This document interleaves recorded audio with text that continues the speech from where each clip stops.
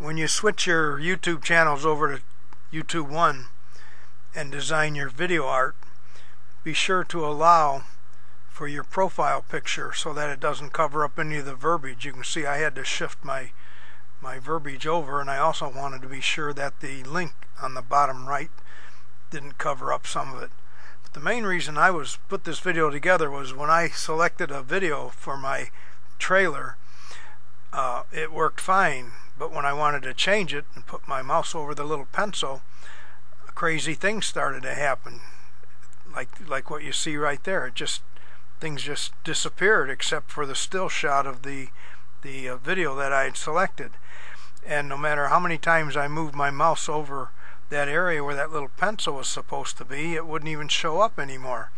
And if I moved my mouse over the video it just would do stuff like this. It just flash on and off. And I spent a lot of time trying to figure out how to work around this because un until I moved the mouse around in some areas uh, the little pencil would never show up. And then when it finally would show up it would do the same thing again. You can see when I, my mouse is over there that it just refuses to um, display that little pencil again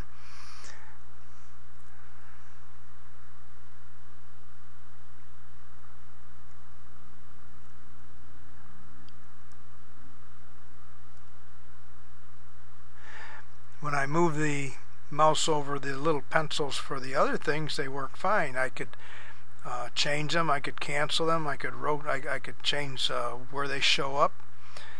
So those pencils worked fine. It was just the the um, trailer that was acting up. Now you can see the mount, the little pencils back. When I click on it, same thing. So once it reappears, it still does not work. And it's almost like, and I'm using Internet Explorer 8 with all the latest uh, updates.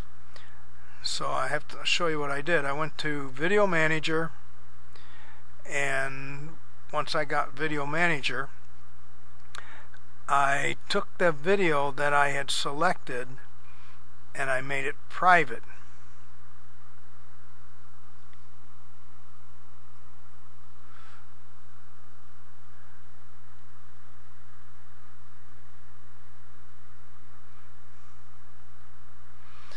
Once I made it private I saved.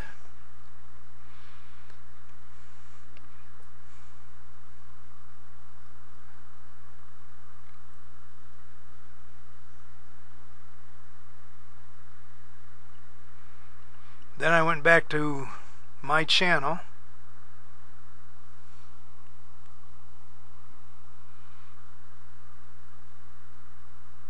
And now you can see in the middle the little trailer bars back. And I clicked on that, selected a different video. Now, I, the one I selected, I couldn't save because I couldn't see the save button.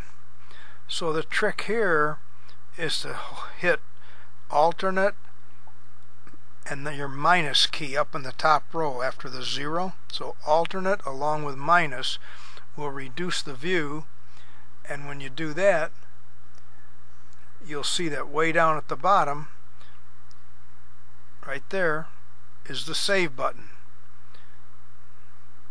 So click on that and then to bring your your screen back up to the size you normally look at do alternate with the plus key and it'll re, it'll bring your your viewing up to what you were seeing.